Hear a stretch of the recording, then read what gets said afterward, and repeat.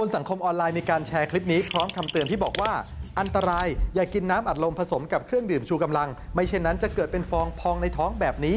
หืมชัวร์เหรอ ศูนย์ชัวร์ก่อนแชร์สำนักข่าวไทย อสมทเดินทางไปที่มหาวิทยาลัยเทคโนโลยีราชมงคลธัญบุรีครับนำคลิปนี้ไปสอบถามจากอาจารย์ด้านโภชนาการ ตกลงว่าห้ามกินน้ำอัดลมผสมกับเครื่องดื่มชูกำลังจริงเหรอครับ ไม่ได้เป็นจริงตามที่ได้แชร์หรือว่าแจ้งมา เพราะว่าในส่วนประกอบของเครื่องดื่มชูกำลัง หรือว่าน้ำอัดลมมันไม่ได้มีสารตัวไหนเลยครับที่จะสามารถก่อให้เกิดปฏิกิริยาการเกิดโฟมได้ แล้วส่วนประกอบของเครื่องดื่มทั้งสองนั้นคืออะไรครับน้ำอัดลมก็จะมีคาเฟอีนโดยเฉพาะถ้าเป็นพวกน้ำอัดลมที่เป็นสีดำทั้งหลายนอกจากนี้ก็มีน้ำตาลแล้วก็มีกรดคาร์บอนิก ซึ่งเกิดจากกระบวนการที่อัดคาร์บอนไดออกไซด์ลงไปทำให้มีรสชาติเครื่องดื่มชูกำลังประกอบไปด้วยคาเฟอีนเป็นหลักแต่งเติมพวกวิตามิน B น้ำตาล และจะมีการเติมพวกทอรีนลงไปด้วย ซึ่งมันก็ไม่มีองค์ประกอบตัวไหนที่สามารถจะก่อให้เกิดโฟมได้ เราลองนำน้ำอัดลมมาผสมกับเครื่องดื่มชูกำลังแล้วคนเหมือนในคลิป ดูซิว่าจะเกิดโฟมหรือฟองแค่ไหน ผสมแล้วก็คนเป็นระยะเวลาหนึ่งสิ่งที่เกิดขึ้นก็คือเครื่องดื่มชูกำลังกับตัวของน้ำอัดลมก็จะรวมกันเป็นเนื้อเดียว ฟองอากาศที่เกิดจากน้ำอัดลมเนี่ยก็จะค่อยๆ ออกมาเรื่อยๆเรื่อยๆในระหว่างกระบวนการคนนะครับจนกระทั่งฟองหมดเนี่ยก็แปลว่าคาร์บอนไดออกไซด์ที่ละลายอยู่ในนั้นเนี่ยไม่มีแล้ว ก็จะเป็นน้ำสีออกเ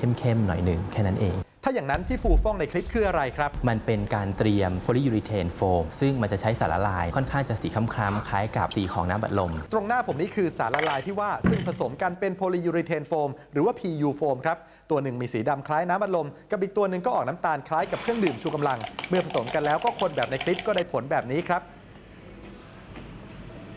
PU โฟมนั้นขยายตัวหลายเท่าทิ้งไว้พักหนึ่งก็แข็งนะครับ ภายในมีฟองอากาศจำนวนมากอัดกันแน่น มักจะใช้สารนี้ทำฉนวนกันความร้อน หรือว่าขึ้นรูปเป็นประติมากรรมโฟมต่างๆครับ